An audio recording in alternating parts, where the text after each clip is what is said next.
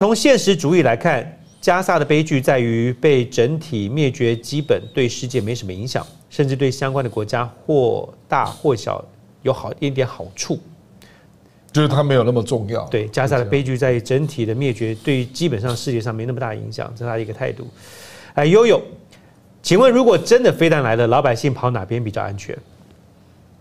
这个不用跑了。我记得赖月谦老师说过啊，因为老的公寓还有地下室可以去。不，基本上新的有没有？基本上都是精准制导啦，精准。他指导军事目标啦。来，林月明他说，两岸现状不可能是永久维持拖下去，是啊，这是一个现实问题。对啊。那台湾的民众究竟是没有意识到，还是不愿意面对？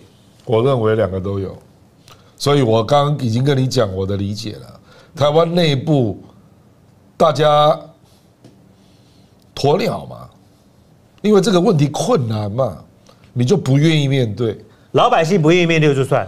我个人最大的感触是，台湾的政治人物或是领导人也不也都觉得，因为这个在选举上可能是票房毒药。是啊，你没有新的论述提出来，不如就保险点，就别提。是啊，大家都不碰，不碰就在那边僵着，所以就变成是造成时间紧迫。不是时间紧迫，就美中把这个问题插进来，因为中国大陆对这个兴趣，这个议题有兴趣啊，美国又没有兴趣，所以中国大陆一定会做一些事啦。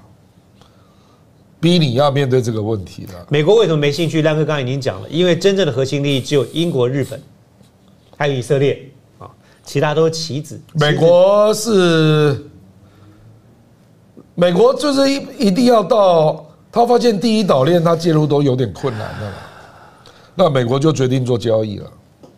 现在不就是这个样状况了吗？第一岛链进来已经有困难了。哎，我知道啊，可是交易要多少代价还不知道嘛。台湾被卖不止一次了哈，台湾被卖不止一次。来，按照卫星警报的 SOP 换成飞弹说到的时候，若是飞弹，飞弹的话怎么应对？好了，飞弹，我坦白讲，我们那个警报，你一测到它发射，你就要发发简讯的啦。嗯。可是发简讯，就那个就是吴一龙在批评的嘛。嗯。你怎么可以叫我们？